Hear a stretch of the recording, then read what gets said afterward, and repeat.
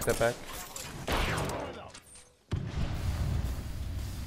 Uh, they're burning from my fire. Enemy down.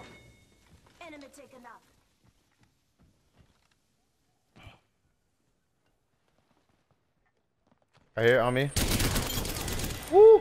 That havoc fucked him up. Holy shit, dude.